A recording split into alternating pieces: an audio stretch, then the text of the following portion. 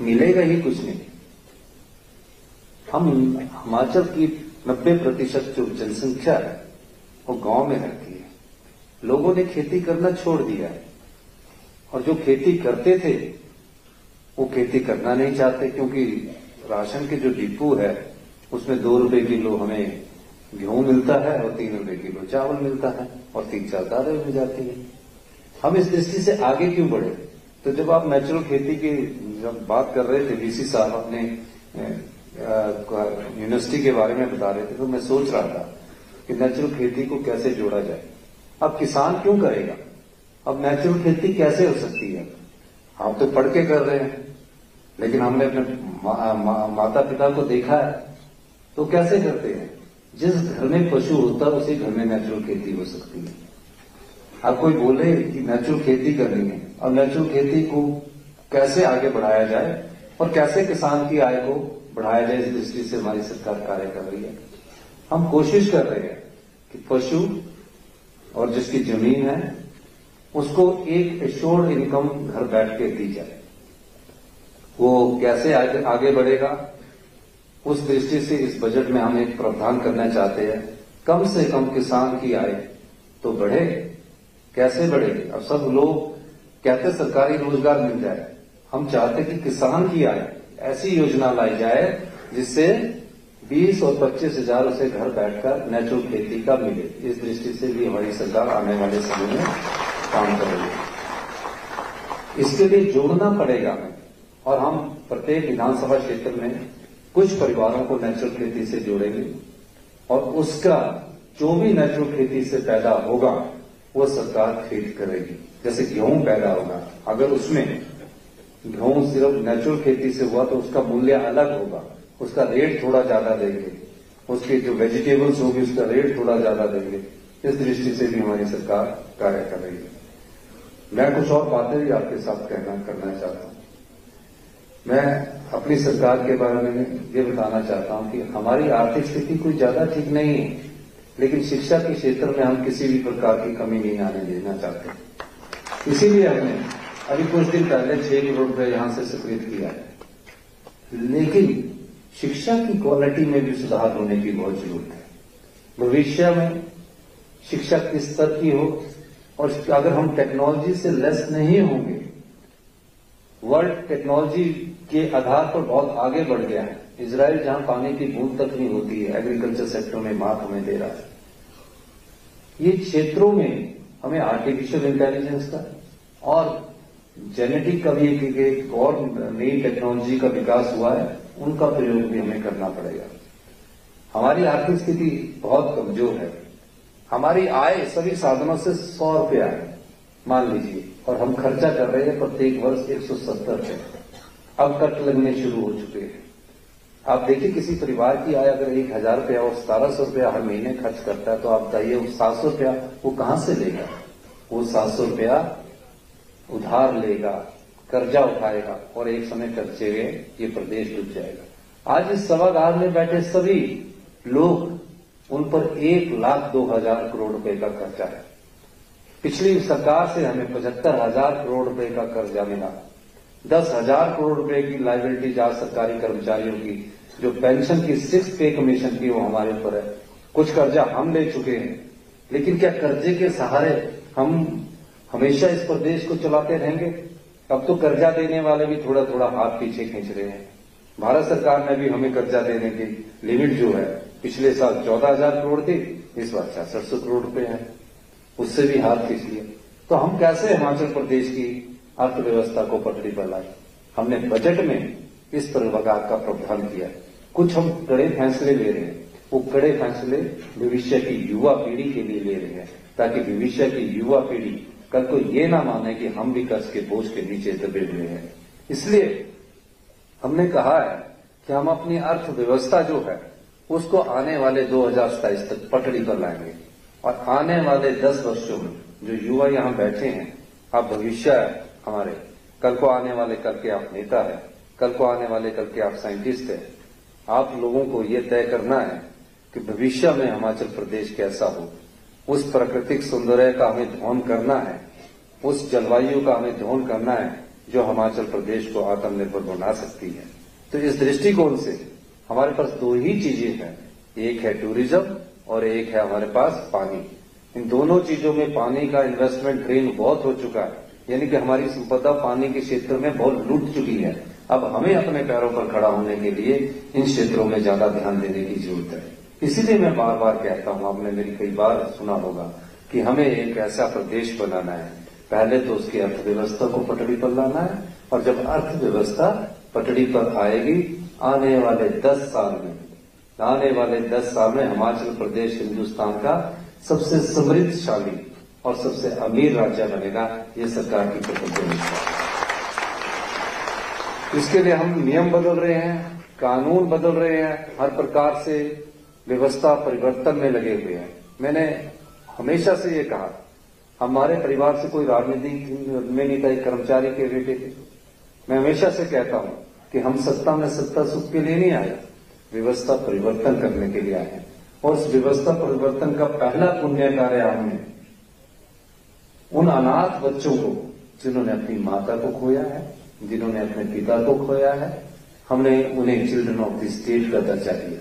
यानी कि पैदा होने के बाद से, पैदा होने के बाद से, यानी कि किसी के बच्चे के पैदा होने के बाद या एक साल की उम्र में पैदा होने के बाद एक्सीडेंट में माता पिता का देहांत हो जाता है। कुछ बच्चे तो अपने रिश्तेदारों के पास चले जाते हैं।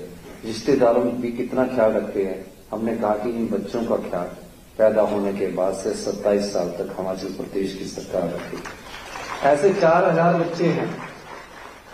जिनको हिमाचल प्रदेश की सरकार अठारह साल के बाद अगर वो आईआईटी में चला जाता है, अगर नीट के द्वारा एमबीबीएस में सिलेक्ट हो जाता है, या कोई और प्रोफेशनल कोर्स करता है, या हॉर्टिकल्चर यूनिवर्सिटी एग्रीकल्चर यूनिवर्सिटी आपकी यूनिवर्सिटी में आ जाता है, उसके पढ़ने का पूरा खर्च हिमाचल प्रदेश सरकार देगी। उसके हॉस्टल का, अब हॉस्टल में रहेगा बच्चा, उसके हॉस्टल का खर्च पूरा सरकार देगी। इसके अलावा हॉस्टल का खर्च हो गया, उसका पढ़ाई का खर्च हो गया। जिस तरह हमारे माँ बाप अपने बच्चे जब हॉस्टल में रहते हैं तो उनके लिए पॉकेट मनी भी देती है। हमारी सरकार ने निर्णय किया कि प्रत्येक बच्चे को चार हज़ार रुपया पर मंथ पॉकेट मनी देती है। और उसको जब तक वो पीएचडी करना चाहता है एमफिल करना चाहता है, कुछ भी पढ़ना चाहता है सारा खर्च उसका सरकार देगी जब पीएचडी करके अपना स्टार्टअप शुरू करना चाहेगा तो दो लाख रुपया अनुदान के लिए उनमें देगी। हो, कई बार बच्चों के पास जगह नहीं होगी, जो अनाथ बच्चे होते हैं, उनकी जगह नहीं होती है। सरकार उसको तीन पर जगह भी देगी और तीन लाख रुपया उसको मकान बनाने के लिए भी देगी। और उसकी शादी के लिए, बेटा या बेटी की शादी के लिए तीन लाख रुपया भी उपलब्ध करवाएगी। ये सरकार की पहली योजना है, जो धरातल पर अभी आई है। ये समाज के उस वर्ग को छू रही है, क्योंकि जिनकी कोई आवाज़ नहीं होती। कर्मचारी की आवाज़ होती है, आप छात्रों की आवाज़ होती है, लेकिन ऐसा वर्ग जो समाज में काफ़ी कुंठित महसूस करता है, अपने भाव को दबाए रखता है, चाहे वो रिश्तेदार के पास हो तो वो अपने माँ बाप को खो देता है तो उसके मन में एक भाव रहता है कि मेरे, मुझे आगे आने वाले समय में कौन देखेगा। इस दृष्टि से हमने मुख्यमंत्री सुखाश्रय को योजना बनाई और इसको कानूनी रूप दिया। यानी कि हिंदुस्तान का पहला कानून मुख्यमंत्री सुखाश्रय कोष के तहत बना, जिसमें अनाथ बच्चों को चिल्ड्रन ऑफ़ द स्टेट का दर्जा दिया गया है। यह हिंदुस्तान का पहला कानून दूसरा, हम कैसे आत्मनिर्भर बनेंगे? किस प्रकार हम आगे बढ़ेंगे? हमें इस दृष्टि से भी सोचना पड़ा। हमने देखा कि हमारे डीजल में हज़ारों रुपया खर्च हो रहा है, हमारे पर्यावरण में लाखों रुपया खर्च हो रहा है। इसलिए हमने युवाओं को, आप लोगों को छह सौ अस्सी करोड़ रुपए की राजीव गांधी स्टार्टअप योजना का शुभारंभ किया। और स्टार्टअप योजना में अभी हम पहले फ़ेज़ में ई टैक्सी दे रहे हैं। यानी कि सरकारी विभागों में जितनी भी गाड़ियाँ डीजल से चलती है तो उसमें डबल खर्चा आता है। एक तो सरकार को ड्राइवर रखने पड़ते हैं, गाड़ी लेनी पड़ती है, उसकी मेंटेनेंस पर डबल खर्चा आता है। तो पहले फ़ेज़ में हम 500 परमिट दे रहे हैं। और उसमें रिस्पांस बहुत अच्छा है। ये स्टार्टअप योजना है। उस स्टार्टअप योजना में हम कोई अगर इलेक्ट्रिकल व्हीकल खरीदता है, मैं जब से पहला बजट रखा है, मैं इलेक्ट्रिकल व्हीकल में ही चलता हूँ। शिमला में आपने देखा होगा, मेरी छोटी सी गाड़ी है, उसमें मैं जाता हूँ। वो इतनी अच्छी गाड़ी है, इसलिए हमने जब उसको प्रैक्टिकल देखा तो सबसे पहले हिंदुस्तान का पहला डिपार्टमेंट ट्रांसपोर्ट विभाग को हमने इलेक्ट्रिकल किया, और आज 500 ई टैक्सी परमिट हम जारी कर रहे हैं। जो ये टैक्सी परमिट टैक्सी वाला लेगा, उसको हम 10 लाख पर 5 लाख रुपया सब्सिडी देंगे और चालीस हज़ार रुपया पर मंथ अश्योर्ड इनकम देंगे। ये पहली स्टार्टअप योजना हमारी है। दूसरी स्टार्टअप योजना सोलर पावर से संबंधित आने वाली है। तीसरी स्टार्टअप योजना आपके डिपार्टमेंट से, आपकी जो यूनिवर्सिटी के जो कोर्सेज है, उनसे संबंधित आने वाली है। एग्रीकल्चर और हॉर्टिकल्चर से संबंधित हमारी तीसरी योजना है।